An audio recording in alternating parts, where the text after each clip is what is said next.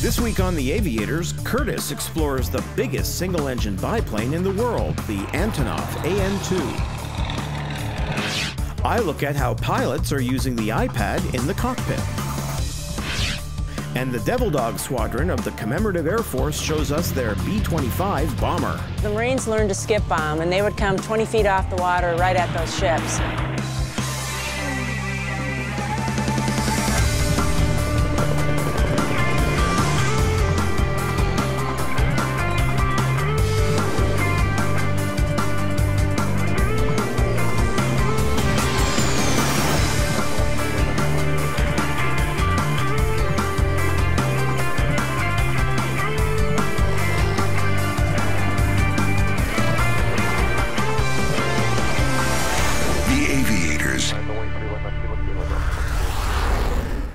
The Aviators is made possible by Zaon's PCAS XRX, the first ever portable collision avoidance system with direction. The XRX shows traffic information on its screen or on a wide variety of compatible GPS displays. For more information, contact Zaon Flight Systems. Its lines are as sleek and sexy as an Italian sports car.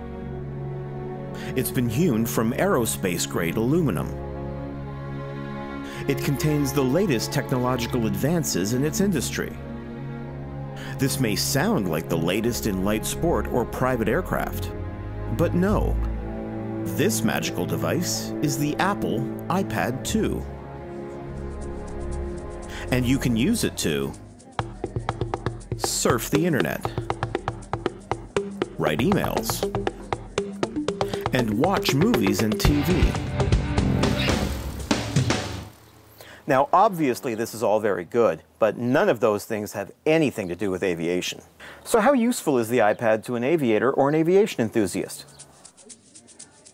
Well, you can use it to surf your favorite aviation websites, write emails to your friends about when you're going flying, and watch your favorite aviation TV show.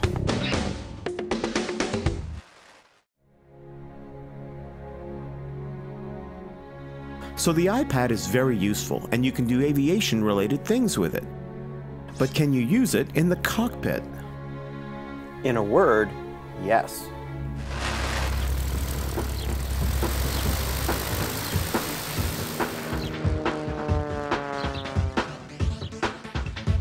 Much like the rest of the world, aviators have been quick to embrace the iPad.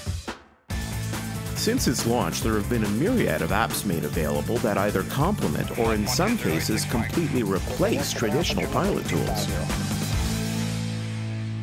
Right, so here you have some of the tools and reference material that a pilot might traditionally have in their flight bag.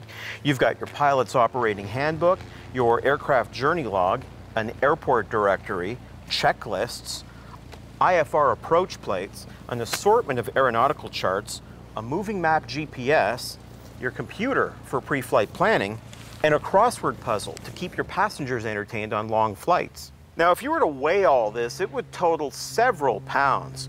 But the iPad, on the other hand, comes in at a whopping 1.3 pounds.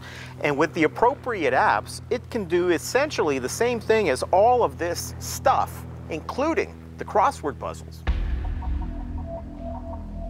So the weight savings alone could be considered revolutionary. But the question begs to be asked does it actually work in the cockpit? Essentially, yes. As you can see, we've chosen to mount our iPad on the yoke, but you can also mount it on the glare shield or on your knee board. There are tons and tons of applications for the iPad for aviation. There's LogTen Pro, for example, which is a flight log, and you can keep track of all your flights. There's also one of my favorite, ForeFlight HD. This is good for pre-flight planning, filing your flight plan, watching your flight en route, checking the weather, and planning your arrivals because it does have approach plates. And switching between applications is really easy.